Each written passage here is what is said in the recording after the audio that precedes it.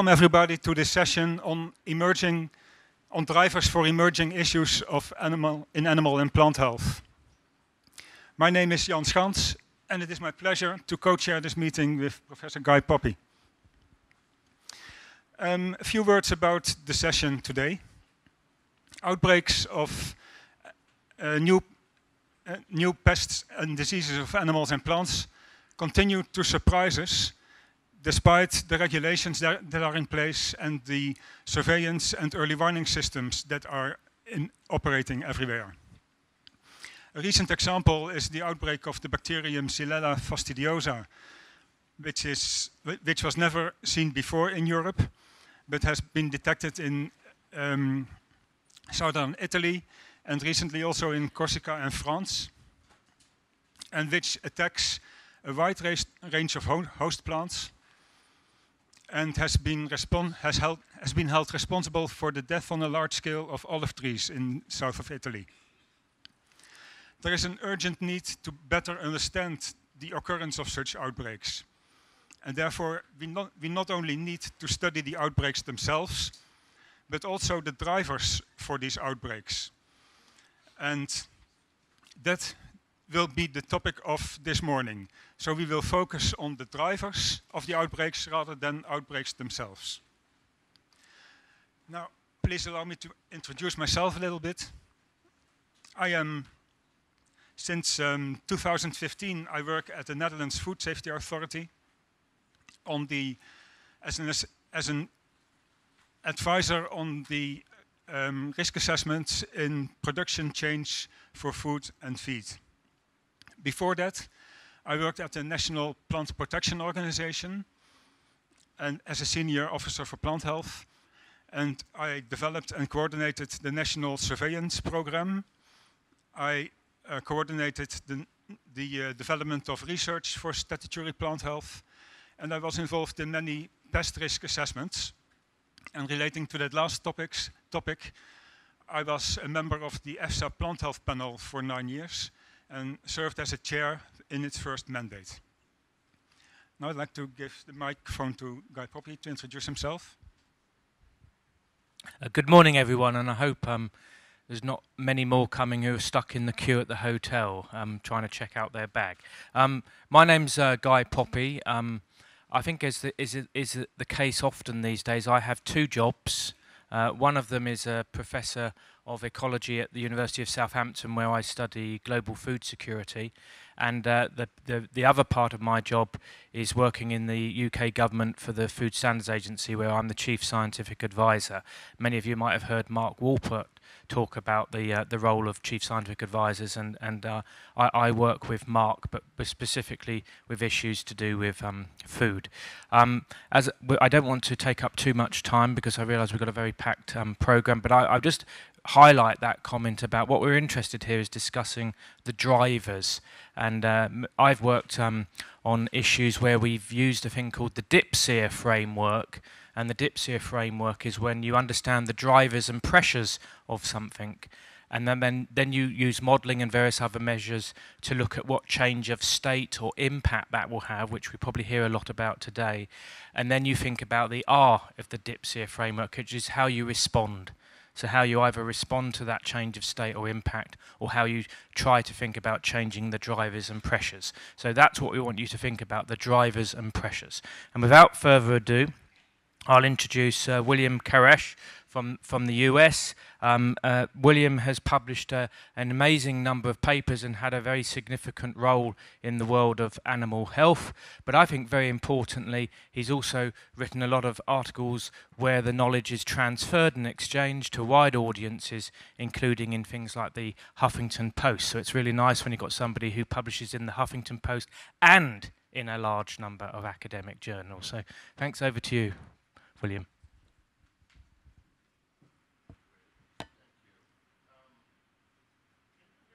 Back. There you go. Is that a little better? Thank you.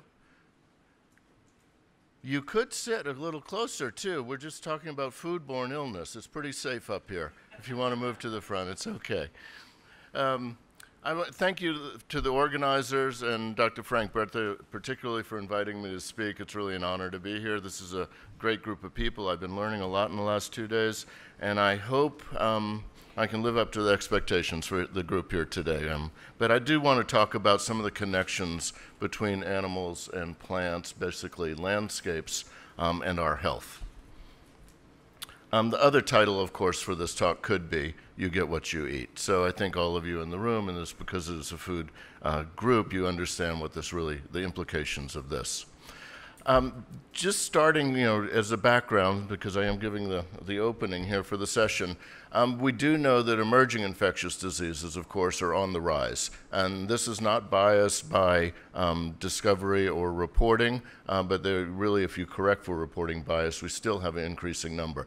Um, most of those you see in yellow, in that increasing number, are linked to wildlife. So I guess the good news um, especially in the food side of things, is a very small portion, the green portion, are related to domestic animals. Doesn't mean it's not a problem, it's just a smaller percentage. So, some of that I'll get into the reasons why, what's driving that. If you look at it another way, we just this paper just came out about a week ago. Um, just a network analysis. This is about 300 and 3,300 um, emerging disease events, or zoonotic events, or viruses. And you see once again that kind of linkage between um, the network between wildlife and virus sharing with humans and domestic animals and wildlife sharing, um, excuse me, viral sharing with humans. Uh, so we kind of, looking at this in different directions, we kind of see this pattern still seems to be true. Now, why does this occur? Well, we know viruses, bacteria are constantly evolving. The rules of evolution, um, the rules of ecology have not changed. The only change is that humans are really anthropologically, humans have changed the landscape um, and provided evolution and ecology to allow these spillover events or diseases to emerge more easily. So we've really changed the playing field. Uh, the basic principles of biology have not changed at all. So when we do a breakdown of what does drive these, this is some work also that just came out this year, um, analysis of um, the first time viral diseases emerged, um, and linked them with some of the classic drivers that were established by the Institute of Medicine. Uh, we see that land use change really is the largest percentage associated with where we see diseases emerge. Um, agricultural industry change um, is also a big driver of that. Uh, food industry change, which we thought was a bigger driver, is actually falls out a little lower when we do an objective analysis. Bushmeat is also low, and I, some of you know me. I've worked with wildlife and hunting and disease emergence my, most of my career, and I was disappointed to see objectively because uh, subjectively, personally, I always thought bushmeat was the most important thing in the world, but the data don't support my opinion on that. So I think we do have to be a little fact based, but we, we do a, a good, rigorous analysis. We see um, that certain things are associated with disease emergence and other activities less so. They can still be important. Um, we've kind of updated the hotspots model. I'll show you a little more about that. Um, but we have now in version two and three of the hotspots, which are basically a risk map for areas of the world so we can actually identify places on the planet that are higher risk of a new zoonotic disease emerging. Um, and we kind of show, you'll see here the kind of the relative influences, so that's a boosted regression tree kind of analysis. So we see human population, of course, is the biggest factor, and diversity of mammals, and I'll explain a little why that is uh, the case. Um, but there's also a connection, once again, as we said, with land use change, in this case, kind of pasture, uh, change in pasture, cropland pasture. So this is an example of that if you look over the last hundred years of the change, and this is just a proportion of land devoted to pasture. Now, it's different in different parts of the world. I'll get into that a little. Um, so we see at the top is the original Kate Jones model, which we did, was done at EcoHealth Alliance. Um, lowering that, and you see it's kind of a rough scale. Um, in the new refined model, where we've actually been able to add in other factors like agricultural change, land use change, livestock, you get a more refined map. Basically, if you zoom in, you just see that the fewer areas of higher risk, which is kind of the good news because it lets us uh, target efforts for prevention a little more carefully. So the more honed in we can get at targeted intervention steps, the better off we'll be for the future. Now, what does that look like when we're talking about agricultural change? This is palm oil or oil palm trees. So this is for food production, but it's also used for other things. And this is going on on a massive scale, especially around the equatorial belt of the U.S., so um, Southeast Asia, and in Africa now. So this conversion of forest for um, agriculture, in this case, oil palm. Um, and we're, you know, curious and wondering about which diseases, new diseases are going to emerge as we move into these areas, or known diseases just reemerging in some of these things. So we can see this pattern, but we know uh, from the data uh, that there's a risk. And why is that? Well, we have this drive for land use change, of course, to raise productivity, raise economics. So we have to find this balance between economic growth and health and well being. So this is kind of the linkages and how we're connected there if we delve, delve in just to foodborne EIDs, um, the drivers seem to change a little. Um, now we have fewer numbers to work with, and this is first time events. Um, but once again, it seems to be more linked to food industry change, which rather than the land use change, we kind of reverse this a little. Um, but that's where we're really targeting in direct contact, essentially, with foodborne illness. What this misses is where the food's produced. And so we know with globalization, um, we know that the sources of some foodborne illness are way upstream. So the driver that you might find in Berlin, Germany, um, is, might not have anything to do with land use change. Of course, that food could have been produced in Egypt or in someplace else. Um, so this calculation really misses that origin of the food source. I think we're underestimating the land use change here, but when we look at the bigger picture, we see that. Um, and also zoonoses, once again, and I'm, many of you are experts, you see that they're also comprising a large percentage of foodborne EID events, emerging infectious disease events. So this is first time. Um, and most of the, a lot of these are bacteria rather than viruses, um, which is good news once again because we do know um, good ways to control these diseases. And I'll get a little into control in a bit. Now, that's kind of looking at a global level, which is interesting but not always useful. Um, so we really want to target down into um, things that are useful and practical that we can do something about. If you look at country level drivers, you see those little pies. I hope you can see that. If we could dim the lights, you might even see it a little better. Um, but in different places in the world, the drivers are just different. Um, and that gets us into intervention strategies or prevention strategies. There are also the different um, drivers, like land use change or ag industry change, are associated with different types of diseases, and their transmission pathways are different. So you see, with land use change, they're highly associated with vector borne diseases, whereas with agricultural industry changes, they're diseases that are transferred either by contact, direct contact, or oral transmission. Um, so once again, it allows us to target in our intervention strategies. So where there is a large-scale change going on in land use, we know we need to do a better job with vector-borne disease control. So there's something we can actually do, control vectors. Um, in agricultural industry change, where that's occurring, where that's kind of affecting the landscape, we need to do things that we do in food industry, which is uh, reducing oral transmission, direct contact. So it has more to do with hygiene, sanitation efforts, and we can actually reduce the number of diseases there. So there's some practical guidelines. Oh. So I wanted to show you a little market. I took this video last week, and then I'm trying to drill down from that global view for you onto more on the ground, what the reality is around the world. So this is a typical day in a market. Um, I shot this video in Indonesia. The sound is going to really be. Could we turn the sound down on this speaker? Maybe. Well, bear with me. There's a lot of background noise because I'm walking through the market with my little phone, just recording. Um, so this is about a 90 second clip. We're doing great for time. Um, and I'll show you what a day in the life is for most people in the world, billions of people in the world, really. Um, and they, and of course, they can move around the world any day they want. These are dogs. Um, so underneath this table is about 50 live dogs, and the consumer will come and pick one out, um, and they will then uh, slaughter it for you, and then they will eviscerate it for you, and then the, the, they're black because they um, use a blowtorch and they singe the hair off that, so it's not really sterilization. It's just they're getting the hair off the animal before the buyer takes it home. And then the offal, the intestines, the guts, are thrown on the ground, and then other animals will eat that, so they'll feed that to the dogs or so. And then you'll see it's a, it's a fun day at the market. And I'll try and narrate over this.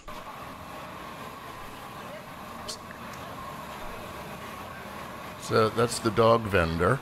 And then back here, these are um, pigs. So it's a mix of domestic pigs, and then they sometimes have wild boars. Uh, so once again, they're cutting up processing animals. People are just walking around. That's just blood on the floor. Um, there's several thousand people in this market while I was there. I was just there for an hour or so. And then those are chickens, so they're live chickens, and there's also slaughtered there. Um, so they're spreading whatever they have. Uh, there's some more pork, pig, meat. Um, this gentleman is chopping it up with his bare hands, and here comes a customer's walking in. He's just using a machete to chop up meat, so that's splattering over there. You have some motorcycle riders are coming in. There's some more meat there. People are walking around in flip-flops and bare feet. They're using their hands to pick up the meat. These are um, bats, so those are large fruit bats and the vendor there is cutting them. Once again, those are not cooked or smoked, they're just singed on the outside, so they're juicy on the inside. So when you cut them open, they'll eviscerate them for you, and then that viscera is just thrown. These are rodents for sale. They like to eat arboreal rodents. Uh, once again, the viscera is still intact. They don't remove it until you buy it. There's some pig, there's some people shopping. Those are snakes, those are um, pythons, so that python meat's available there. Um, and we'll end, I think, with a very happy customer on this little clip. Yeah, it's got her, hands in the meat. Um, so that's going on every day throughout the world, um, mostly in the developing world. But if you look through Asia and then lots of Central Africa, we're having that contact. And once again, we seem to be surprised that we have zoonotic disease transmission or emerging event. It seems to surprise people every time with Ebola. You're like, wow, how did that happen? Well, it happened because of this daily contact in large volumes. That does lead me right into Ebola. So this is a, you know, our standard way, of course, of dealing with emergent disease. You wait till there's a big outbreak in humans, and then you mount a, a massive global scale response team, which in the last case in West Africa was a little slow to get started, uh, so we have tens of thousands of people affected and dying. That is one approach to outbreak, um, dealing with outbreaks of emerging diseases. The other approach is, as we're talking about today, and you're going to hear more about this from our speakers in this session, which is a great session about prevention, understanding the drivers, is understanding that they're linked to what we're doing on the planet. So this is a logging camp. Uh, there's for a, a, legitimate logging camp owned by a European company um, in the middle of Central Africa, in the Congo. Um, and they build these very nice facilities and cut down the trees, and the trees are exported to Europe and Asia and the United States. We're a big consumer. Um, and the workers are provided some housing, but they're not provided with food. So they're dependent on that village here on the left, you can see, of people that move into this area, and they're hunters and they're sex workers and they're people selling cigarettes. So you have a little commercial business that grows up around every logging camp. And there's hundreds of these, and this is out working also throughout the tropics, and we are also surprised. But they have to bring in food, so the hunters go out and collect what's called bush meat by us, um, but it's just wild game meat. And it's a variety of species. So you see on the left, on the right there for you, um, is that gorilla a piece of gorilla is being just sold in the market. It's a massive scale. It's about a billion kilograms a year just in Central Africa alone. So that's the wild meat that's being consumed. And once again, I always say, you know, we seem surprised when we have a disease transmission event that gets into people. Um, and the only thing that's surprising about it to me is that we're surprised. So really, this is a lottery. I think a lot of you live in Italy, so you understand the lottery system. So if you built, if you bought, if you purchased a billion lottery tickets, if you were a virus and you want to jump from an animal into a person, and you had a billion chances, a billion lottery tickets, your odds are pretty good that every year you might win once. Um, so this is really just about statistics. Uh, and we can, and that's why it becomes predictable, because as you start to quantify what's going on, we can start to identify the higher risk areas. Now, they're rare events. They just turn out to be very terrible, tragic events when they happen. So HIV AIDS has not been a good thing for our planet, but this is how it started. Ebola, more recently, a horrible thing. This is how it started. SARS, this is how it starts. So you can do a lot of great mathematics, and I certainly am not going to go into this in detail with you, um, but you can use this to start seeing, connecting those drivers with predictable areas.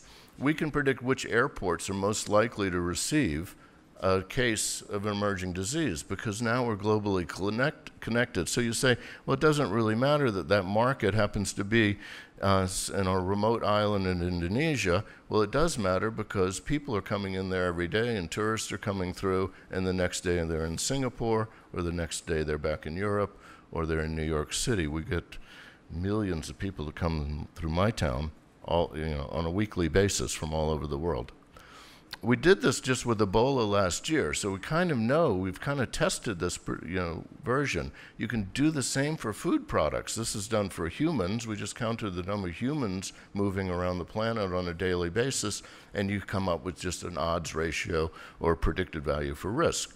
So we did this for Ebola, saying which countries are the highest risk for people moving once they got Ebola. Of course, Ebola started with contact with wildlife, that was the index case. After that, it was human to human, and people started moving. So Ebola is really a foodborne disease. People need to be really honest about that. Um, before it comes a hospital-acquired and a family-acquired disease, it starts as a foodborne disease. So we kind of ran the simulation back last summer, and then we watched the dates of spread, and it worked out pretty true. These models have worked. You can actually calculate the probability for movement, um, and it was ahead of time, and we saw that it identified the high risk countries. And this, you can be agnostic about the reason why. It's just based on uh, travel data. You can do the same with cargo data. You can do the same with food commodity data. You can calculate a probability of spread based on these things. The other ways to look at it, we kind of analyze well, which, which species, what are the risky behaviors, what are we coming in contact with? Um, so once again, we, this has not been published yet, but Kevin Olival at EcoHealth did it.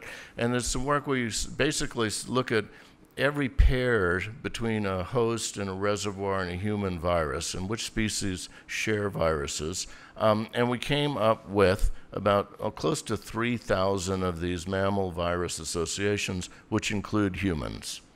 This is using all the published literature. And we kind of looked at which species, you know, seem to be higher risk. Um, so the number of viruses any given group of animals has is pretty consistent. Um, but the number of, the percentage of them that are zoonotic, which mean are shared with humans, is not evenly distributed. So some species seem to have a higher risk, have a higher proportion of viruses, this is just viruses, that are shared with humans, and other species don't. So we always wondered, is it a, a contact issue? Is it because we're in contact with 20 billion chickens a year? Is that why it's dangerous? In that kind of case, it, sometimes it does overwhelm the system that huge numbers. But otherwise, it's really related to phylogeny. It's our genetic relationship. So what we see is a predictive value there that the closer the species is to humans, the more likely it is we are to share viruses. So once again, we can narrow down what types of animals pose more risk than others.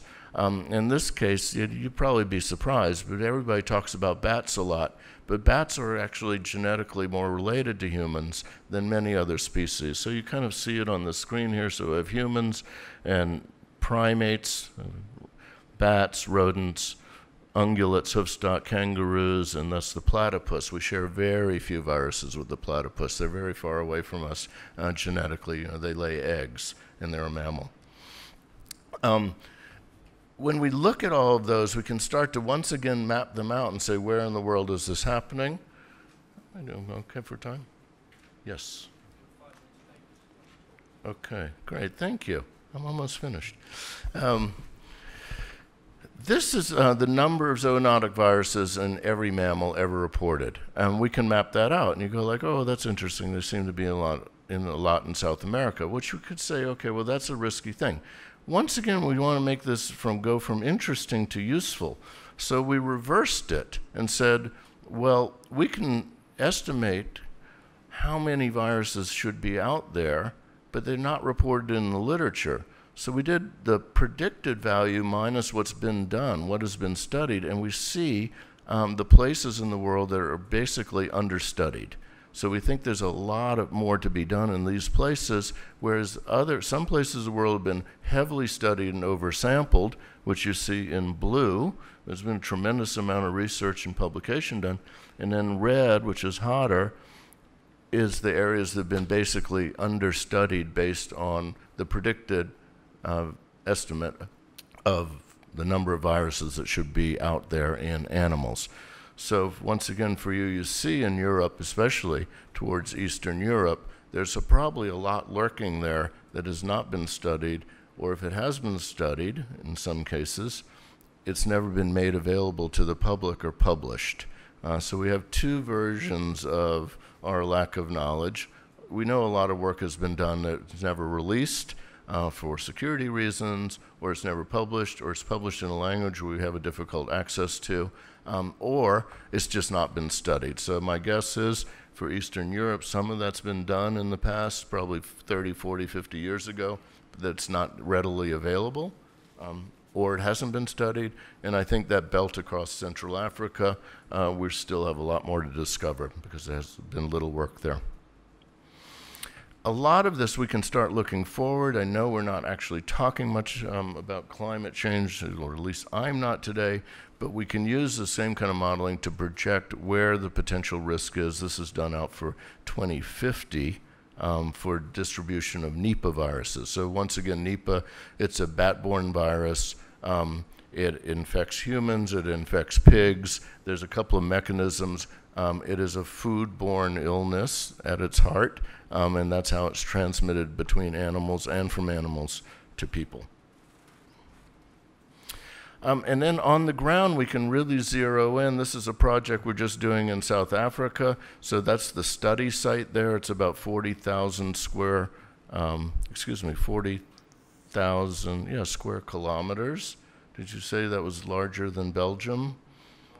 And Holland. It's larger than the Netherlands. So our study site's larger than the Netherlands. Um, and we're looking at Rift Valley fever in a multidisciplinary way. So we can actually, we're trying to drill down into the drivers. So we have teams studying domestic animals, wild animals. We have entomologists doing mosquitoes. We have a human uh, component where we're testing humans, but we also brought in medical anthropologists. So they're doing uh, human behavior to see what the risk factors are for Rift Valley fever.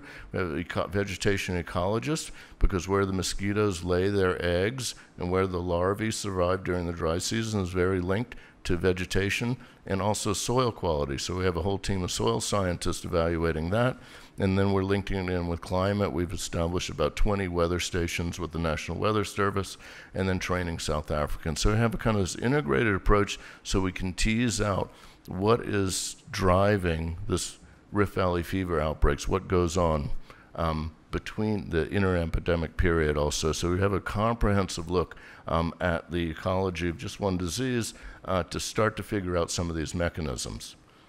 So just to close up, I'm going to say we have, um, I think of this all as biological threat reduction. Uh, so emerging diseases, foodborne diseases, I don't know, vector-borne diseases, whatever you want to call it, you know, from an ecological perspective, um, in a human anthropocentric perspective, which we're concerned about the threat to us, in the big picture of ecology, we don't really matter. So it's not really a biological threat except to humans um, and to animals and to plants, uh, the things we care about, and that's why we call it a threat. But we still need to figure out and delve in that detail. What are the practices? What are the behaviors? What are we doing uh, that's generating risk? I think we're getting a better handle now on where they're more likely to occur, but we could be a lot more specific so we can target interventions. Um, what's going on is linked to that behavior. Um, and then some questions about host biology, uh, resistance, and a big one that I think is coming on the horizon now is about tolerance. It's not really resisting diseases, but we have a lot of mic- our microbiome. We pick up a lot of organisms, and we just tolerate them, and we're happy with them. We don't resist them. And so I think there's things we can learn about um, infectious organism tolerance that could help us in some of this prevention if we can understand those mechanisms um, and get more into prevention, detection, and response. So what I keep seeing is we have to work upstream, and I think the food industry is, is probably the best at this. They probably understand this more, that preventing disease, controlling food disease, um, disease transmission is best done at certain control points along that pathway instead of waiting till it gets down to the ultimate, to the consumer. Um, and we need multisectoral collaborations, and we need to engineer our policies uh, to reduce risk and impact. So what I mean by that is we need to design science-based policies that are really designed like we do for earthquakes.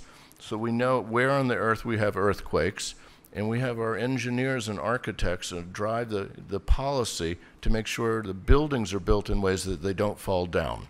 So we can build those into policies and engineer that system in. We see it in the food industry because you set standards for control to reduce disease. Um, and we need to apply that more broadly for the whole host and range of diseases. So with that, I'll close. Thank you very much.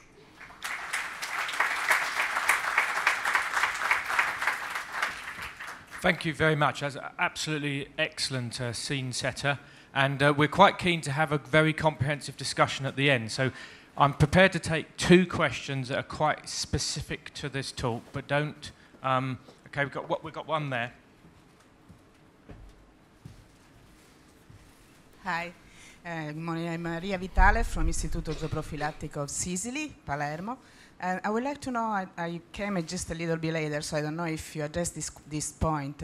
There is some uh, relation or something that can be important the, with the mm, natural parks or natural fields that are uh, related to a more po possible, possible transmission from uh, um, of zoonotic disease from uh, mammals to humans or from wild animals to humans. I'm thinking about the, the maps that uh, you show also, about uh, all the literature that is present for the South America and less literature that is present in Europe, then uh, it is also like two different uh, mm, mm, environments. I mean, it's more human in Europe and less, more wild in South America more natural park, more uh, biodiversity, more uh, mammal species, all this kind of thing. Yes, it's highly linked to biodiversity. Um, but I think that was corrected for, so it's more about proportionality. But you, in some places in the world, you would be surprised by the biodiversity of Eastern Europe and the Black Sea area and some of those areas. You'd be surprised if you really took a walk in the woods um, there's a lot of diversity of animals there that we take for granted. And a lot of people say we don't have bats in our country, um, though they probably have 50 or 60 species, but they don't go out at night and they don't see them flying around. So I think, you know, just what we observe is different than what's really there. Okay, thank you very much. I, I think we'll, uh, we'll pick Move up on. questions like that towards the, the end.